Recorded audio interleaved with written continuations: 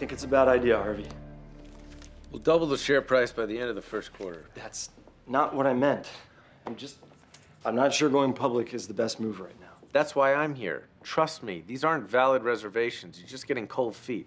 Harvey, I'll have Donna send you some fuzzy slippers. You'll be just fine. are fuzzy slippers gonna stop the Title 16 ruling that came down Friday?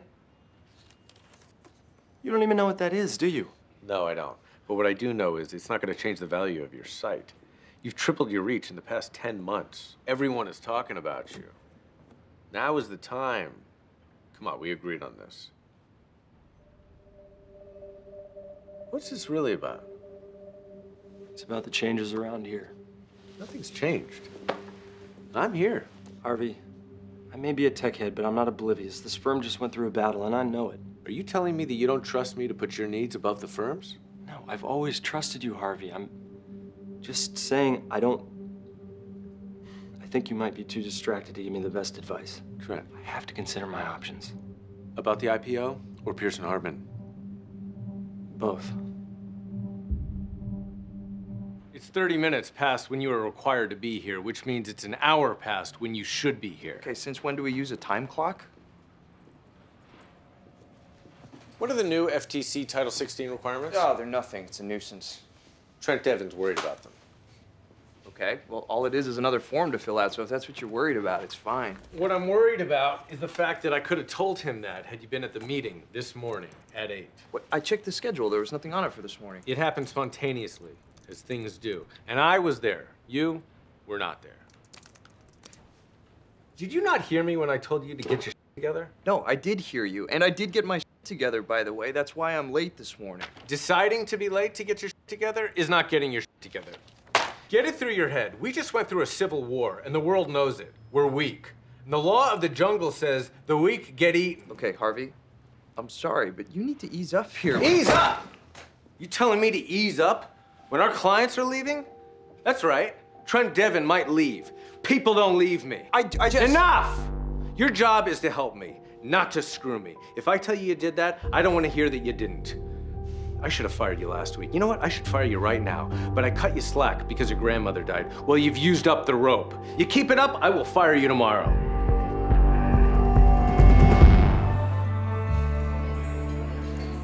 Wow, you look like hell. Jimmy, you here to pick a fight with me? Because I'm really not in the mood. No, no, Mike, it's it's not like that, man. Oh, yeah, you're not still pissed at me? You gave me an out. Like, I might not have respected it at the time, but I do now. As far as I'm concerned, I owe you one. Okay. Yeah, let me buy you a drink. Two conditions. One, you still owe me one. Two, you still owe me one. As long as I still don't owe you one. Bartender. It's good to see you, man. You too, buddy. So what's going on? You had a bad day? Yeah. Okay, so give it to me. Well, evidently getting in at 8.30 can only mean one thing. Yeah, that you had your head up your ass from 7 to 8.15. How'd you know? Well, you're forgetting I used to work for Louis, too.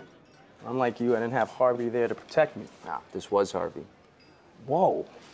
Ain't that some sh? Anyway, used to the wonderful world of being an associate, right? Yeah, Pearson Hardman. What does that mean? I'm at Bratton Gould, my man, and I'm happy. No, associates don't get to be happy, Jimmy. No, you do at Bratton Gould. I got an office. Shoot me now. That's great. Listen, Mike, when I said that I owe you one, I mean it. Okay, you didn't hear from me, but we're expanding, so if you want to jump, just let me know. I'll put in a word for you. I can't leave Harvey. Screw Harvey. I mean, what's he done for you? More than you know. Okay, maybe. But year on the Harvey Specter, they would kill to have you. You wouldn't be the only one.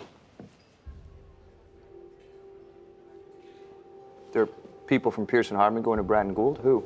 I can't tell you that. Jimmy, you have to tell me that. Mike, come on. If they knew it came They from won't. me. I saw Clark and Owens meeting with our partners. You're here to give me your letter of resignation, I'll accept it in the morning. Oh, that's ironic. I was offered a job tonight. Congratulations. I passed. You want credit for that? No, I want to do the job I already have. Apology accepted. Bratton Gould is poaching our associates, Clark Owens, but he's also coming after. Our clients. Trent Devon. Someone's whispering in his ear. Allison Holt. She was brought in about a month ago. She was ready to throw you under the bus. And Jessica threw her out. So you think she's in this for revenge? Maybe. But we both know who brought her in. Hardman. You think this is him? Hell of a view. Clark and Owens don't deserve this. Which one is Owens, by the way? The redhead? You don't even know who your associates are, but you're here to complain about losing them? You bitter because you were fired? I'm not bitter, Harvey. Unlike you, I don't take things personally. And by the way, I was right. I advised you to settle, and you settled. Your advice was for us to settle, and I lose my law license. And my question is was taking that deal your idea or Daniel Hardman's? You think Daniel's behind this? You met with him six days ago.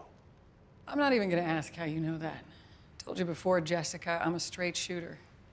Daniel wasn't dictating my actions then, and he's not now. Either way, we are filing a claim for tortious interference. You're using privileged information to target our clients. You really want to cry foul to the ref? You know who went to the ref more than anyone? Michael Jordan. He did it quietly and he got six rings. And he's my client. Maybe I should call him too. You're not getting Trent Devon. You can't keep people who want to leave, Harvey. Everybody knows about your civil war. Pearson Hardman is falling apart. And I'm telling you, the avalanche has already started.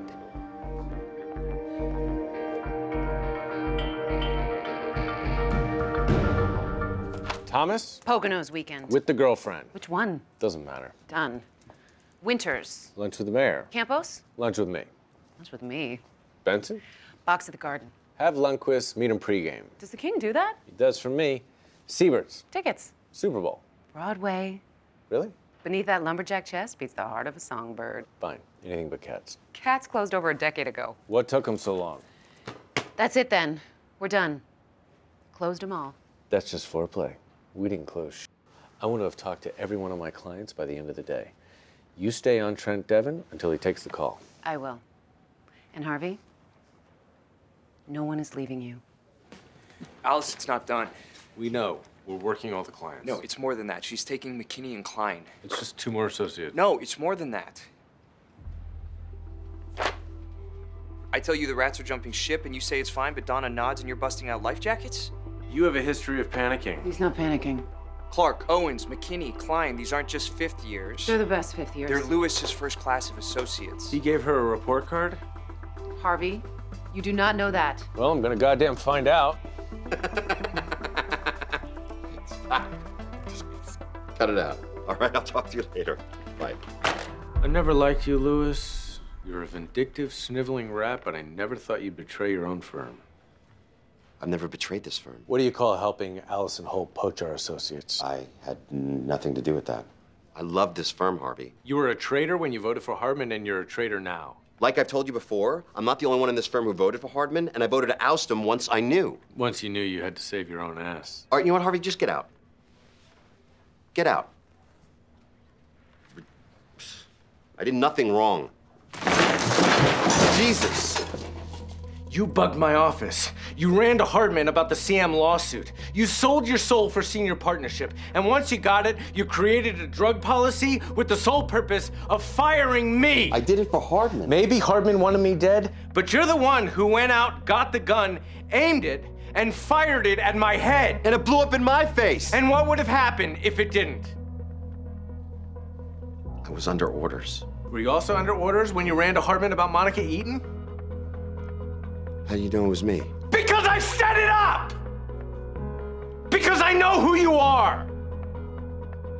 Are you still gonna tell me you're not helping Allison? Harvey, I swear to God, I did not do this. Maybe not. But now that you've done what you've done, I will never trust you. Pearson Hardman is my life. Well, here's what's gonna happen from now on. You and I, we're done. Don't drop by my office. Don't ask Donna for information. You're the guy that nobody wants, but we can't get rid of. But I'm senior partner. So I can't make you leave. But as far as I'm concerned, You don't even work here anymore.